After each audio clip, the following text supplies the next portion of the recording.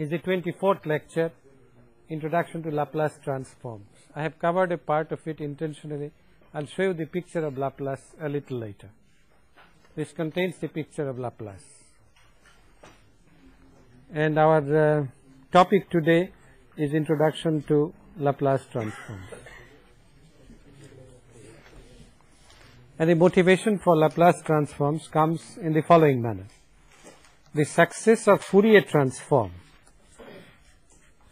is due to the fact that most practical signals and arbitrary practical signals in many cases can be decomposed into a superposition of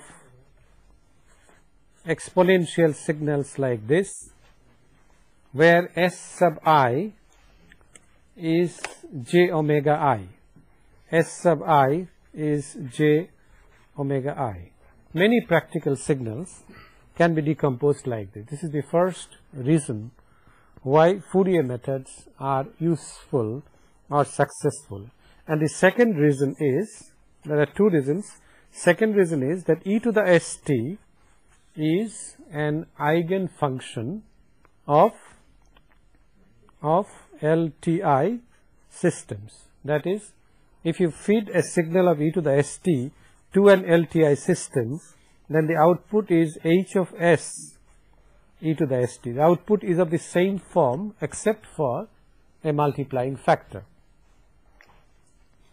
These are the two reasons why, why Fourier methods are useful in the analysis of linear time invariant systems. Of course, with s equal to j omega and the interpretation is that h of j omega which we for simplicity all the while we have been writing this as h of omega is the frequency response of the system and the the Fourier transform of x of t Fourier transform of x of t represents the spectrum or the frequency content of the signal. Now, in Laplace transform what we do is we generalize this concept and do not restrict S to purely imaginary. We make small s a general quantity which has a real part as well as an imaginary part. And we shall see that this generalization expands the domain of signals and systems which can be treated analytically with ease and this is a very simple modification and this was introduced by this man Laplace whose first two names are Pierre Simon Laplace. He showed that if you generalize S to sigma plus j omega instead of simply j omega, then the restrictions on the convergence of transform, that is Fourier transform convergence and the analysis of linear systems with initial conditions becomes greatly relaxed and it can be done it can be done in situations where Fourier transform fails. We shall show several examples where Fourier transform fails but Laplace transform does the work. This is the picture of Laplace that I could I could find out from one of the textbooks, but I have enlarged it, it doesn't look quite, quite nice, but his name was Pierre Simon Laplace and the, and the title Marquis de was given by one of the politicians. The Laplace was a French astronomer astronomer by uh, training and by love of subject. He was an astronomer first and then a mathematician. He is credited with the transform that bears his name, Laplace transform, which has revolutionized the, this, the analysis of circuits and systems with non-sinusoidal inputs. With sinusoidal inputs, Fourier transforms does wonderful job you can even avoid Fourier transform, you can go to phasors and carry out the job.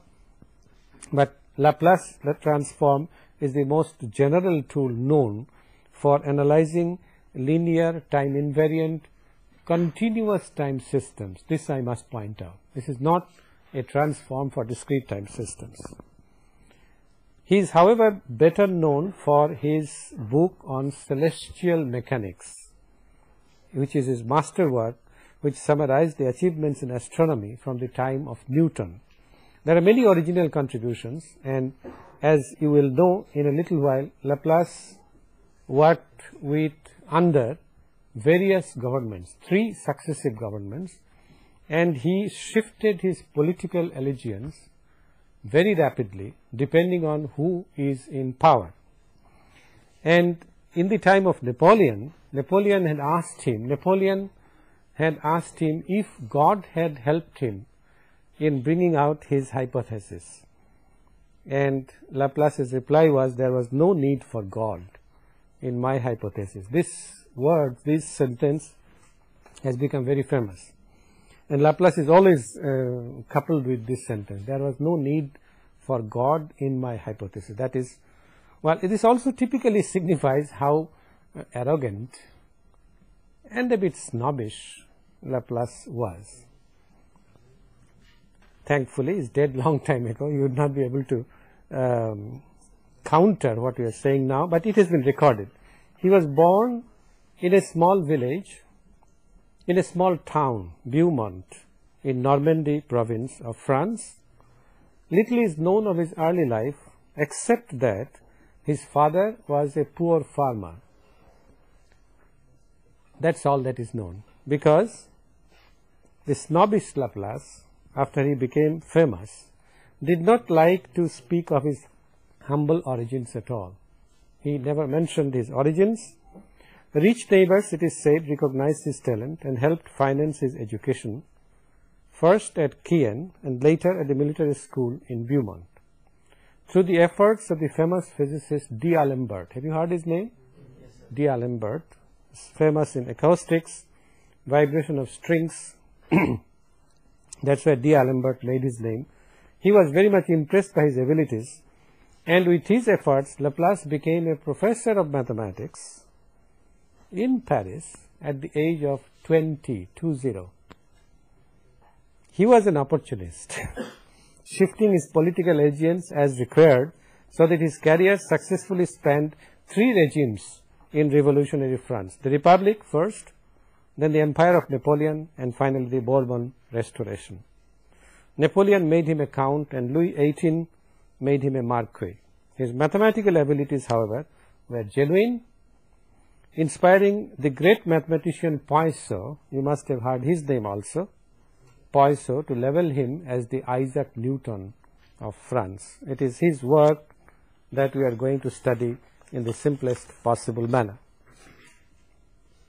if we go back to the uh, to the question of a signal of the form e to the st which is applied to an LTI system and the output is h of s e to the st then you know that h of s is integral minus infinity to infinity h of t e to the minus st dt.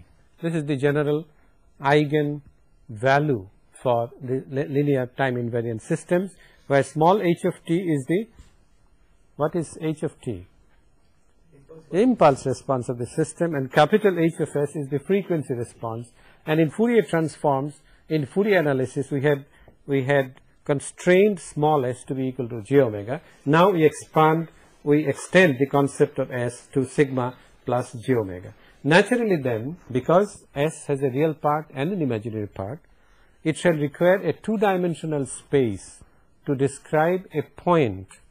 In other words, we shall have a space which we can have the rectangular coordinates or we can have the polar coordinates which shall have sigma on one of the axes and omega on the other axis. Convention is that we don't simply write omega, we write j omega to indicate that this vertical axis is the imaginary axis. So, any point in the S plane any point in the S plane has two coordinates, the real part and the imaginary part. And the imaginary part is the length of this.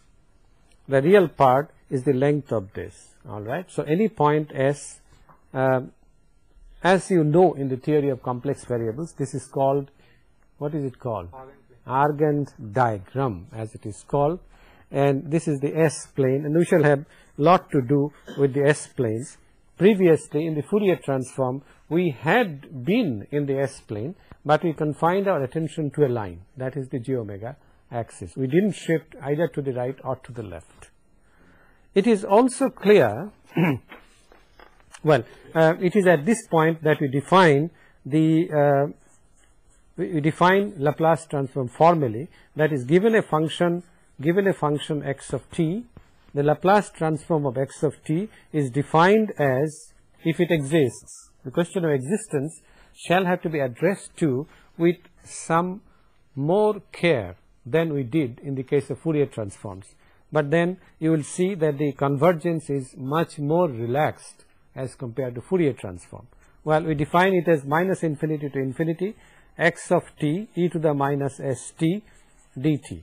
And symbolically we write this as x of t to indicate that this is Laplace transform. We write a script L here and write capital X of s. That is x of t and capital X of s are Laplace pairs.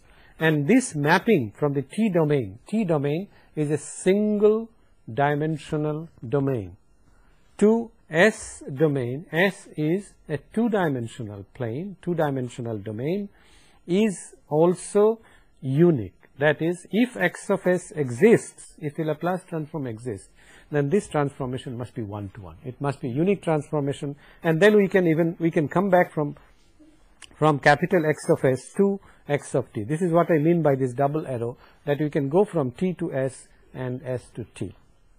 It is also clear that if sigma equal to 0 that is if we confine our attention to the j omega axis then obviously Laplace transform should be the same as Fourier transform provided both exist alright.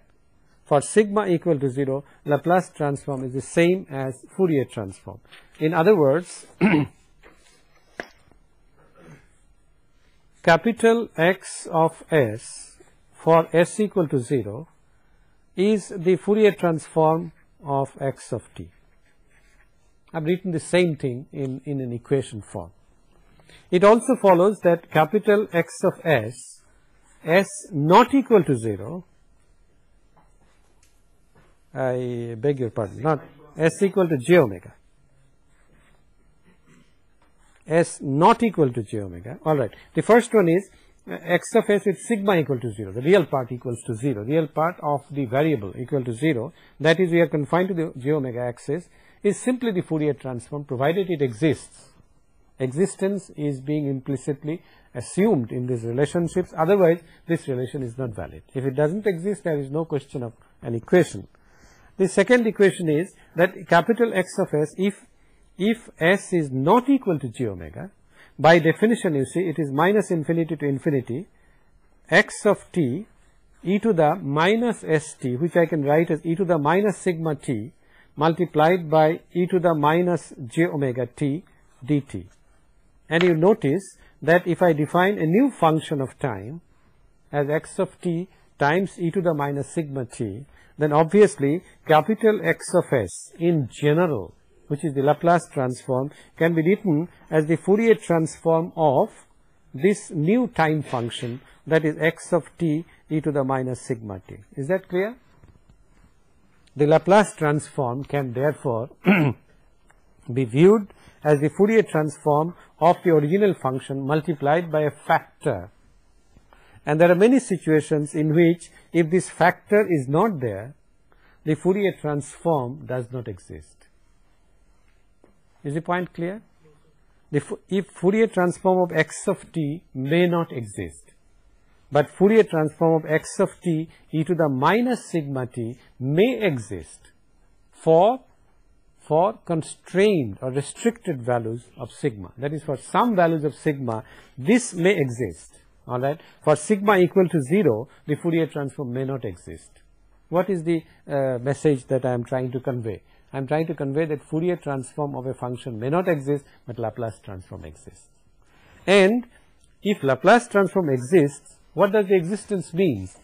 If we go back to the to the definition of Laplace transform that is capital X of s is minus infinity to infinity x of t e to the minus st dt and we have said that x of s is the Fourier transform of x of t e to the minus sigma t. Well, what does the existence of x of s mean? It means that x of t e to the minus st is absolutely integrable. This is the condition for the existence of Laplace transform. Now, the, the, the mod of x of t e to the minus st isn't it simply x of t e to the minus sigma t, the mod of x t e to the minus sigma t? And therefore, what in a sense it means is that adding this factor, not adding, multiplying x of t by this factor helps this integral to converge. And therefore, this factor sometimes is known as the convergence factor. e to the minus sigma t is a convergence factor. Now, naturally, the convergence shall depend on the value of sigma. It may be such that if sigma is positive, definitely there is a possibility of convergence. As t tends to infinity, it goes to 0. Not necessarily though, because t also can go to minus infinity, lower limit. And therefore, for some values of sigma, what does that mean? For some values of sigma, that means for a restricted part of the S plane. Sigma is after all the real part of S. Alright. So, for some values of sigma, x of s may converge, for some others it may not.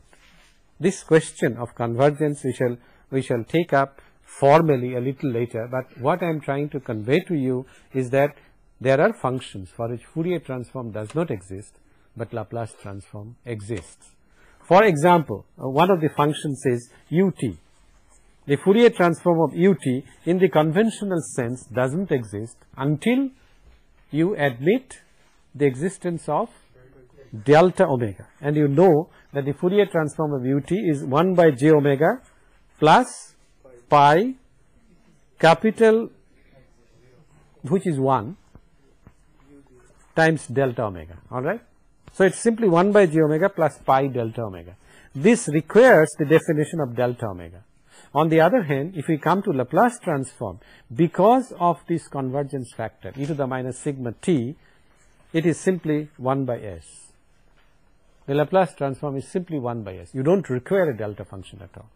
Alright. And this would be true for real part of s greater than 0.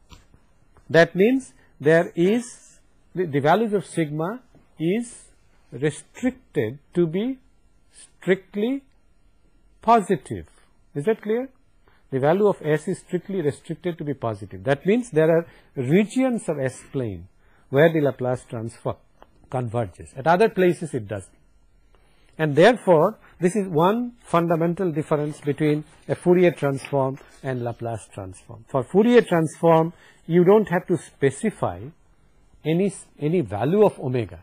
You don't have to specify because Fourier transform exists if it exists. Then it exists on the j omega axis of the S plane. It is on this axis that Fourier transform exists. On the other hand, for Laplace transform, there are regions of regions of the S plane where it exists, there are regions where it does not converge. And therefore, in Laplace transform, not only the transform is important, but the region in which it exists or it converges is also important and therefore, whenever you specify x of s, you must also specify not only the expression for x of s, but you must also specify the region of convergence or ROC of this x of s. We will come to a few examples and then we will explain and then we will explain what the properties of the region of convergence is. The question of convergence must be understood very very carefully because this is one thing that distinguishes Fourier transform from Laplace transform. Laplace transform has two degrees of freedom sigma and omega whereas Fourier transform just one degree of freedom omega. Let us take an example. Let us say e to the minus at ut. Let us say this is my x of t then you know that the Fourier transform of x of t is simply 1 by a plus j omega. Now, what is the restriction on omega here? Is there any restriction on omega? No, there is no restriction. But there is a restriction on a. a must be greater than 0. a must be, first thing is it must be real. If it is not real, then real part of a should be greater than 0. Alright. Now, let us try the Laplace transform. The Laplace of x of t is equal to minus infinity to infinity well e to the minus at then we should have e to the minus st which is e to the minus sigma t e to the minus j omega t dt and therefore this is minus infinity to infinity e to the minus a plus sigma t ut and therefore we take this as 0 to infinity. All right. So, this lower limit becomes 0 and we have e to the j omega t minus dt and exactly in a similar manner as in the Fourier transform case we can evaluate this integral as Laplace of x of t. X of t is e to the minus a t u t. It is a plus sigma plus j omega provided a plus sigma is greater than 0 alright which I can write therefore as a plus s because sigma plus j omega is nothing but s. And this expression I can write as a plus real part of s greater than 0 that means the real part of s is greater than minus a. Alright now, let us look at what this means in the form in the form of a picture. E to the minus at ut and we have shown that capital X of s is 1 by a plus s with real part s greater than minus a. Let us look at the picture in the s plane this is sigma and this is j omega and suppose A is positive. A had to be positive for Fourier transform to exist. So, suppose A is positive, then minus A obviously is somewhere here. And you see real part of S greater than minus A means that if you draw a vertical line, if you draw a line parallel to the j omega axis, then it is this Fourier, this Laplace transform capital X of S equal to 1 by A plus S shall exists only for real part of s greater than equal to a. That means in the in the plane to the right of the vertical line s equal to minus a sigma equal to minus a. Alright. So, it is the total region. It is an infinite region over which the Laplace transform exists, but there is an infinite region to the left of minus a where it does not exist. And therefore along with Laplace transform it is extremely important that you specify what the region of convergence is the ROC and we derived it very simply from considerations of Fourier transform. Fourier transform existed for a greater than 0 and therefore Laplace transform exists for a plus sigma because the real part is added to a greater than 0 which translated into this consideration that is real part of s greater than minus a. Now, obviously in this if you put uh, if you put a equal to 0 if you put a equal to 0 then it's simply the unit step function and you see nothing no modification is needed here you put a equal to 0 therefore x of s is 1 by s for real part of s greater than 0 that means this would be the open right half S plane. Let's let's understand what I mean by this. What I did was x of t equal to ut gives me capital X of s equal to 1 by s. I had put a equal to 0 with real part of s greater than 0 which means that if I look at the s plane sigma j omega then my real part of s that is sigma has to be greater than 0 which means the the right half of the S plane. The, the middle line is the j omega axis.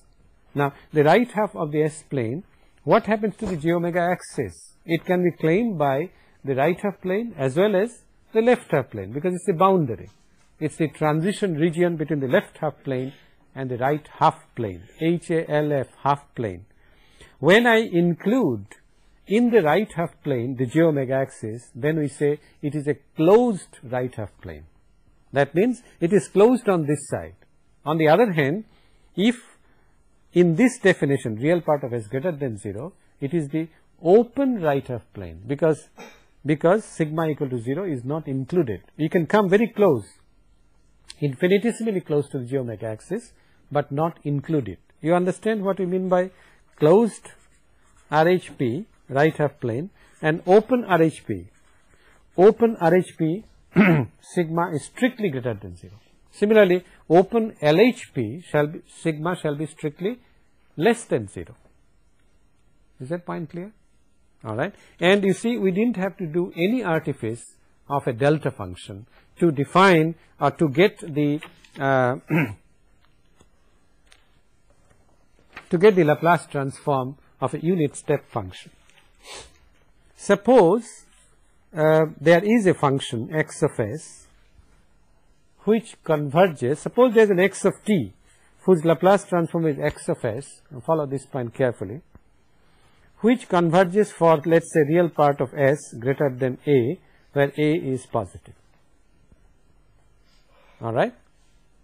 Which means that the region of convergence is there is an a somewhere here, there is an a somewhere here and the region of convergence is this. This is the j omega axis, this is sigma and this is j omega.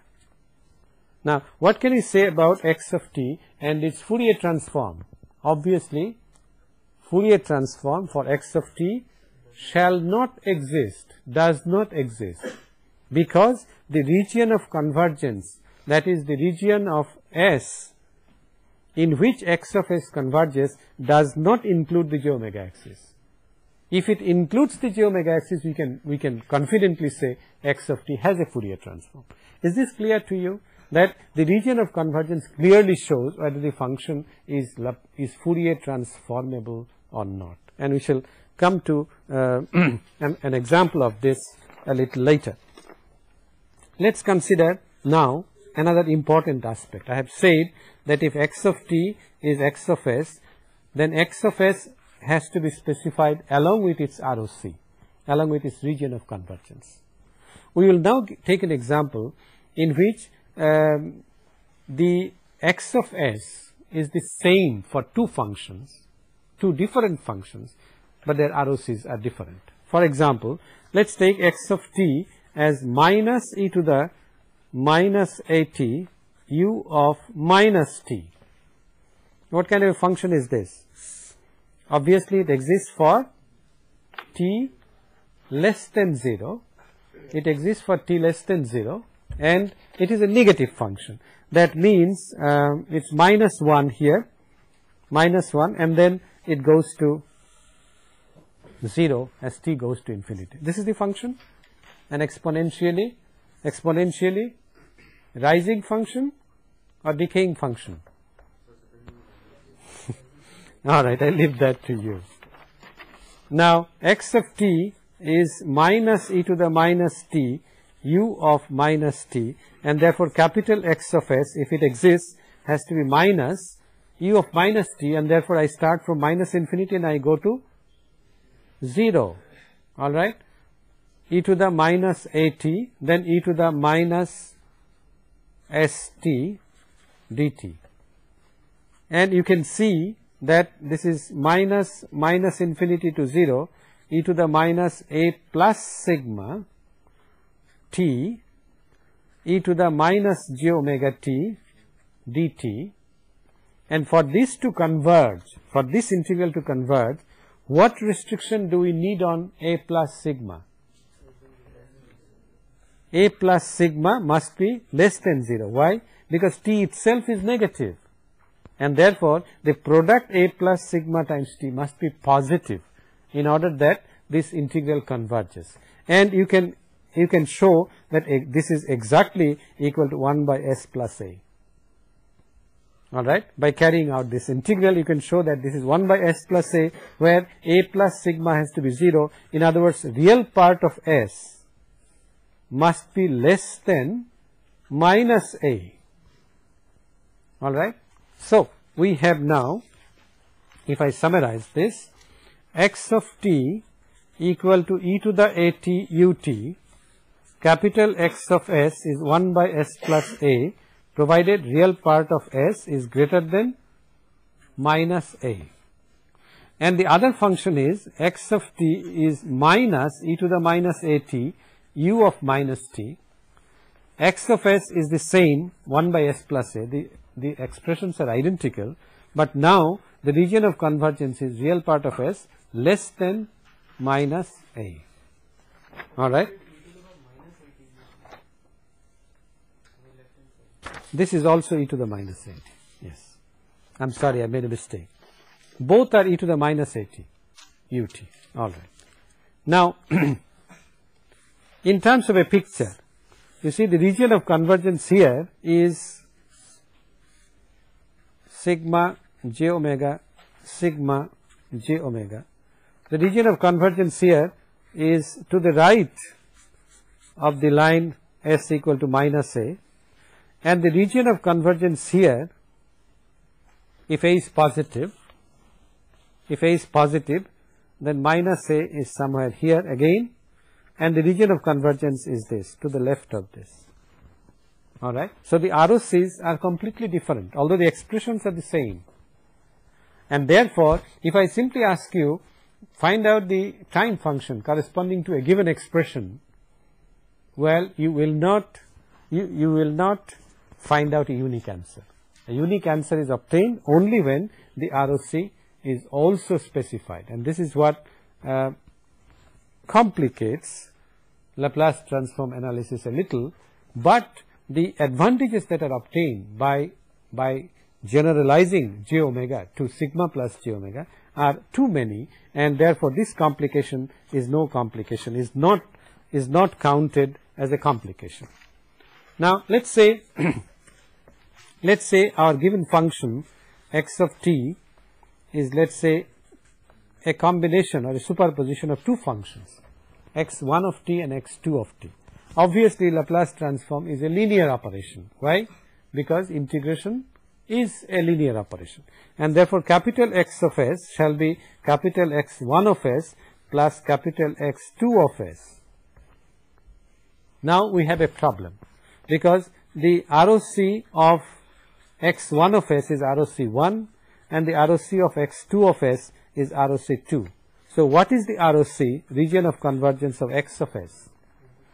It must be the common part of ROC1 and ROC2.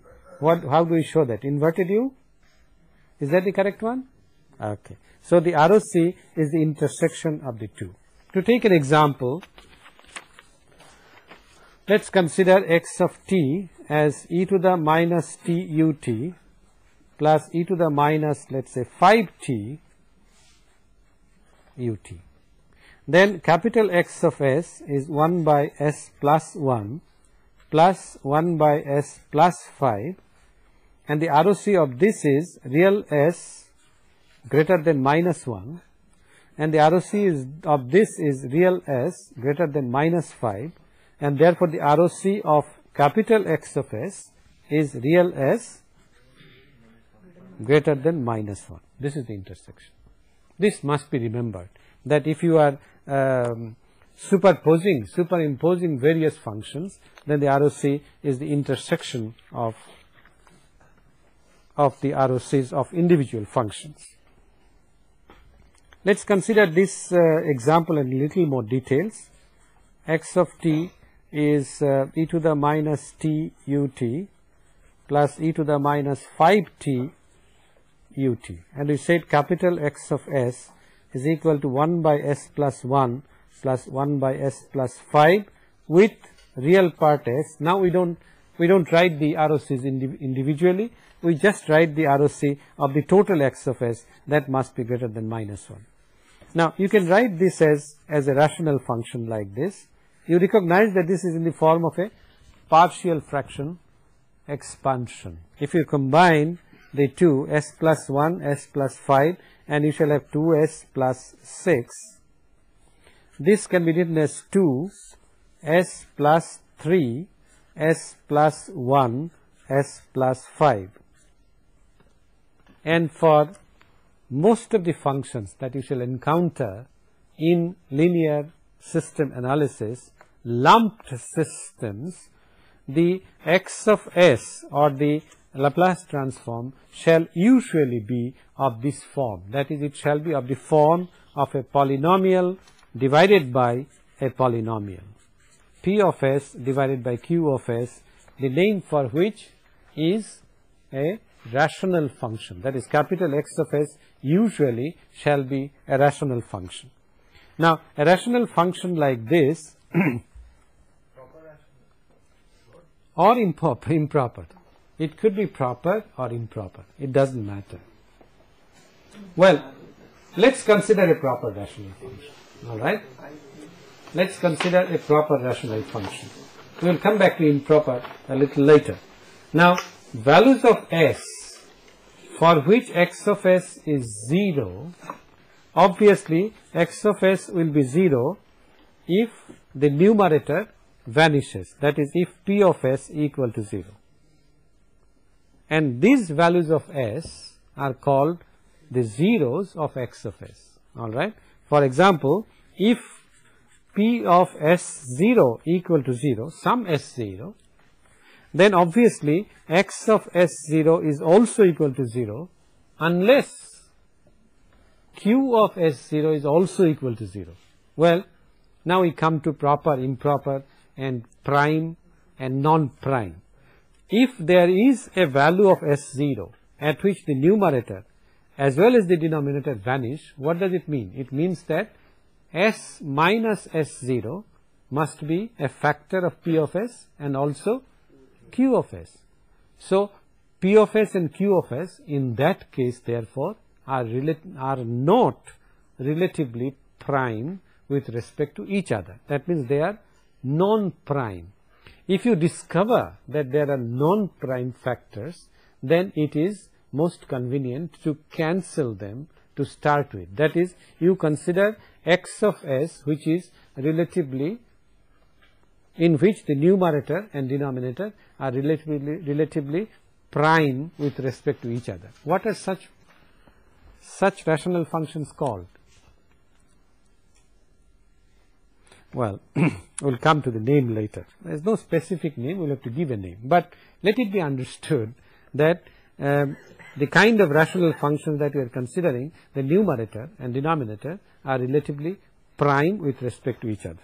Then the numer wherever the numerator vanishes, the whole function vanishes. Alright, and such points are called zeros of the function and in the S plane they are represented by circles like this, small circles. This is a point S0 at which the function vanishes and therefore it is indicated in the S plane by means of a circle. On the other hand,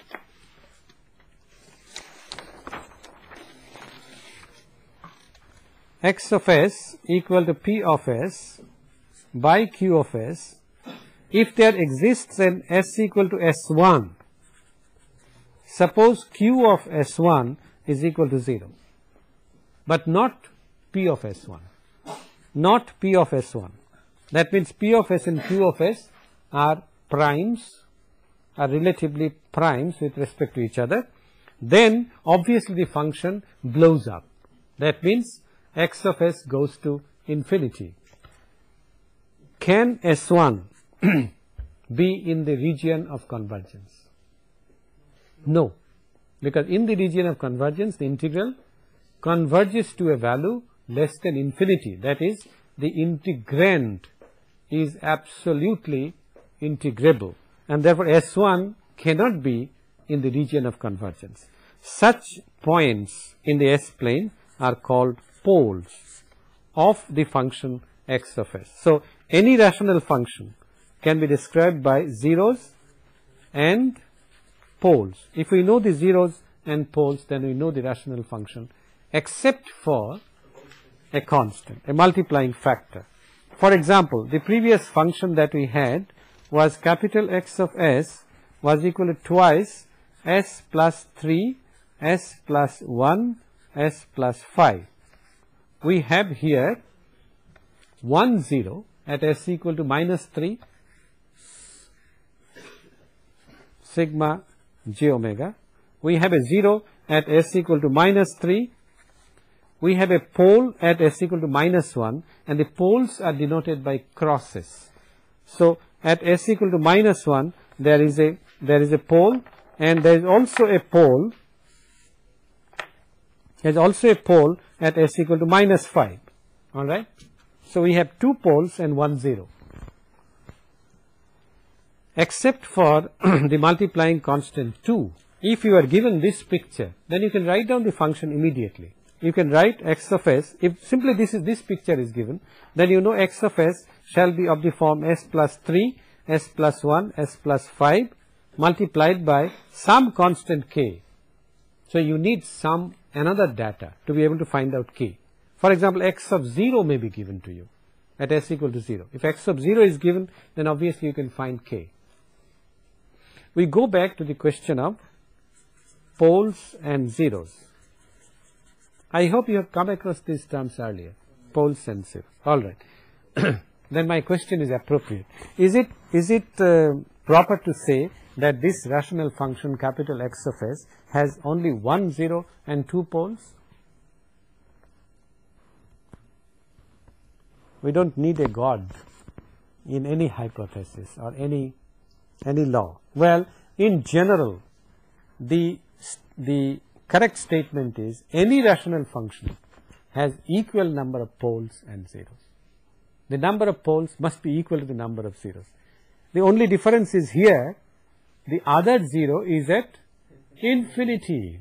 You see the degree of the numerator is 1, the degree of the denominator is 2 and therefore when s goes to infinity capital X of s goes to 0. How do I show infinity? I make a break here then go as far left as I as I can go and, and show a 0 here and I call this infinity. Well obviously I should show minus infinity. Question arises philosophical questions they are of no consequence as far as as far as system analysis is concerned. Why do you show it at minus infinity? Why is it on the why, what is it why is infinity on the real axis? Why don't you show it at plus infinity? Why don't you show it as plus j infinity or minus j infinity? Point of fact is that infinity is considered as a single point. Since we don't know where it is, it's convenient to consider it a single point and uh, coincides with the concept of Brahma that whichever way you go, you reach a single point. All right?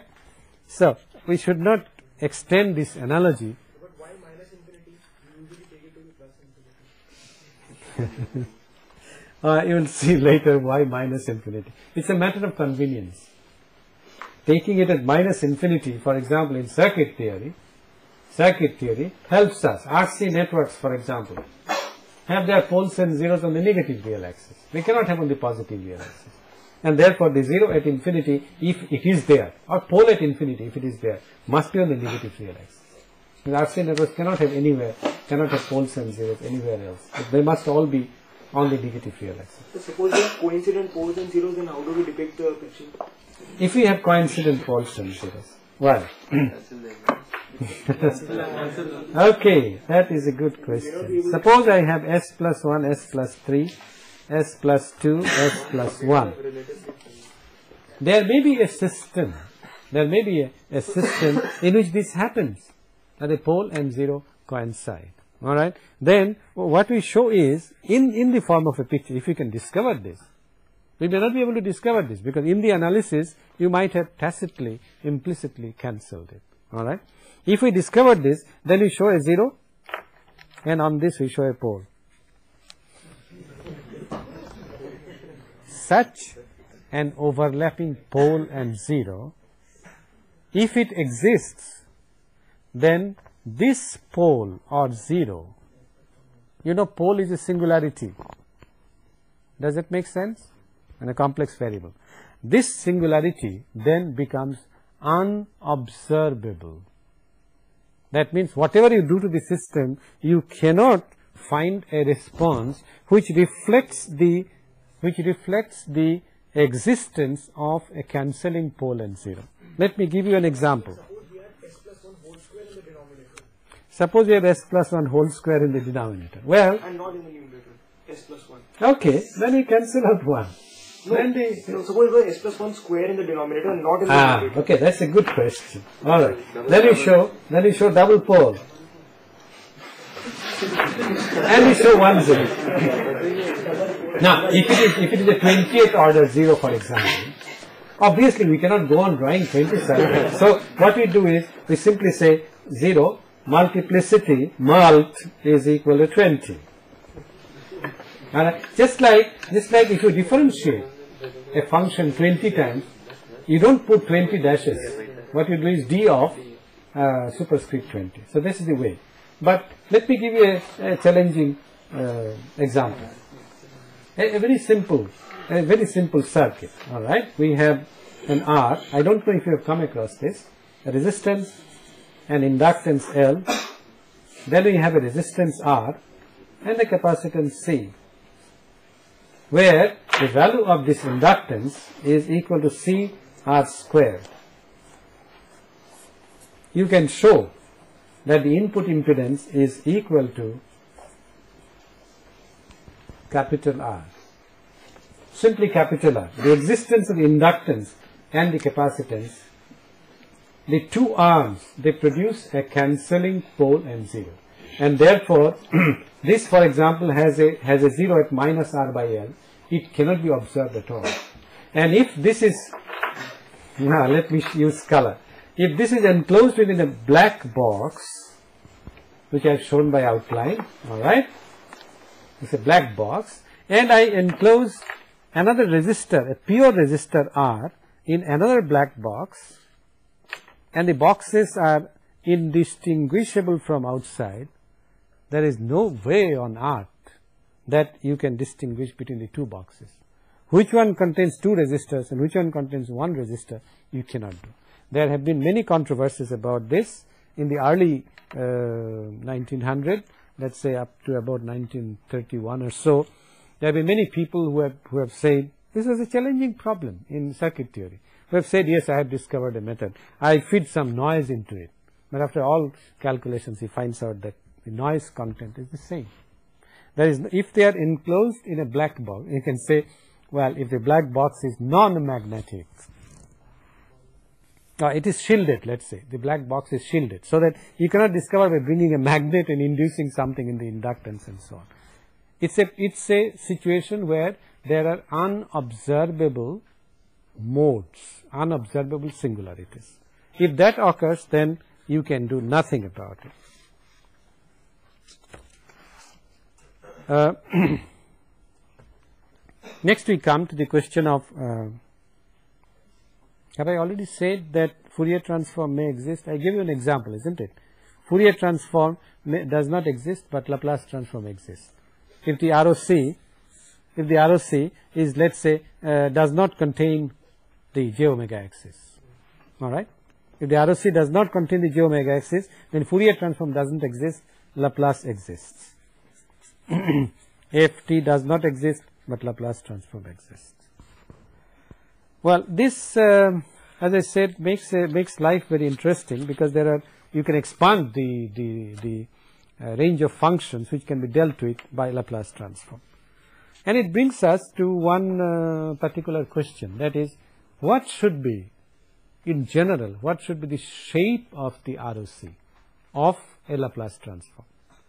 Obviously, the ROC shall be bounded by bounded by vertical lines, that is lines parallel to the j omega axis. Now, can you give an argument or a proof that it cannot be an arbitrary shape like this? The ROC cannot be an arbitrary shape like this. I claim, I hypothesize without God that the ROC must be bounded by lines parallel to the j omega axis. This is my hypothesis. Can you give an argument? or a proof. You see, what is, what do you mean by the ROC? You know that x of s, very simple proof, we have already done this. x of s is Fourier transform of x of t, x of s is Laplace transform, e to the minus sigma t. Now, in this Fourier transform, j omega doesn't occur at all. That is, the vertical coordinate is not of any concern. It only depends on sigma. And therefore, the ROC must be bounded, must be bounded by lines parallel to the j omega. Omega can take any value. It is only sigma on which the ROC depends.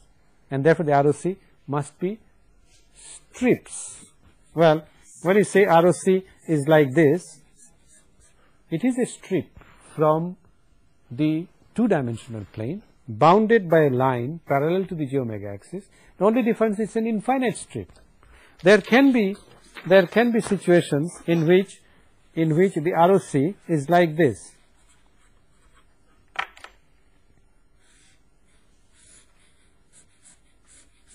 It can be like this. Let's say this is sigma L and this is sigma R. All right. It may be bounded between two sigmas. Sigma R is negative, this is 0 and this is sigma L. Obviously, for such a situation, the Fourier transform, Fourier transform exists because it includes the j omega axis. ROC is not necessarily infinite, it can be finite also. To show this, we have to consider three possible cases. Let's consider only one of them today. We will consider the other two next time. Suppose we have an x of t which is finite. That is, it exists over, let's say, a finite region of the t axis. x of t, uh, let's say this is this is capital T1 and this is capital T2. That is, x of t is a function f of t multiplied by a gate u of t minus t1 minus u of t minus t2. All right and it says that if the Laplace transform of this converges for some sigma equal to sigma 0, let the Laplace transform of x of t converge for some sigma equal to sigma 0. What is the Laplace transform? It is minus t1, I am sorry, t1 to t2 x of t e to the minus st dt. It converges means what? It convergence means integral t1 to t2 mod x of t e to the minus sigma 0 t dt shall be less than infinity. Right? My hypothesis, now I state the hypothesis, that if x of t exists over a finite range of t and its Laplace transform converges for some sigma equal to sigma 0, then I state that it converges for all values of sigma. That means the entire S plane, entire S plane is its region of convergence. And to, to show this is extremely simple.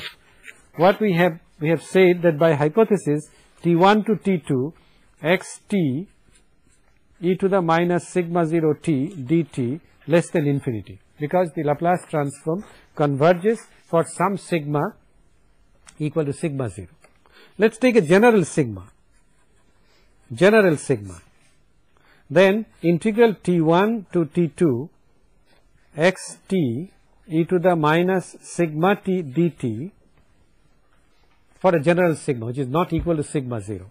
This can be written as t1 to t2 x t, look at the argument, we write this as e to the minus sigma 0 t dt, then we make the correction.